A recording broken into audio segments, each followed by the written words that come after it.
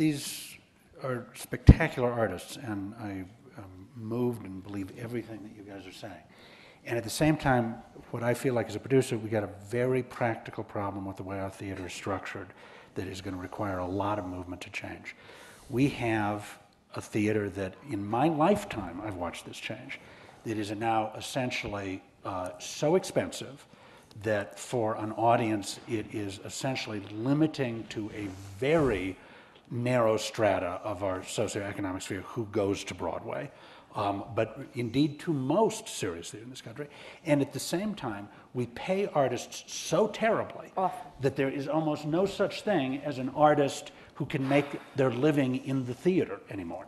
And as a matter of fact, the theater, those of us who are producers, are former recovering producers, you know, there's been this quiet agreement that's been made. Again, it changed in my lifetime.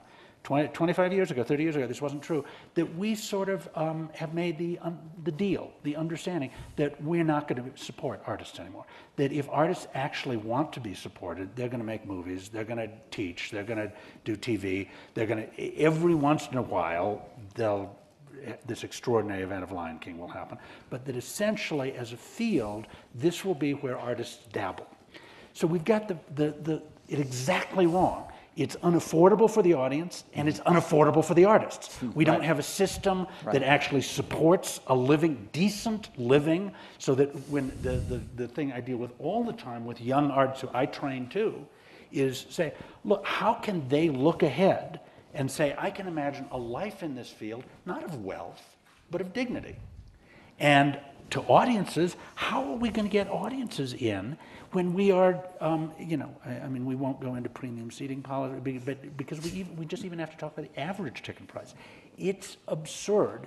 It require, and it requires a major intervention, a change in the direction of the way our industry is going, if we're going to make room for the visions that these women are describing. If we're going to make room for the audience that actually has a chance to be transported by that.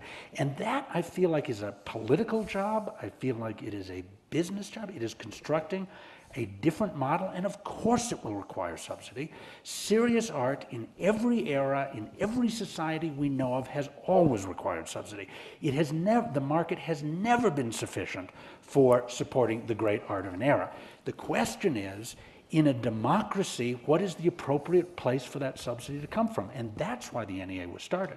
Because saying in monarchies, kings are supposed to start. In oligarchies, the nobility are supposed to support the. That's where patronage is supposed to come from. But you know what? In a democracy, the patronage should come from the people for art for the people. That's the appropriate thing. And we have you know, but, but again, as, as I agree with you, Greg, we, we've felt this throughout this conference. It's been really the theme of the way that that civic union of our society has broken apart. And we are now willing to accept that everything should have a price and that the people sh should get commodities who can pay for those commodities. And those who can't, well, fundamentally, I guess they're the loser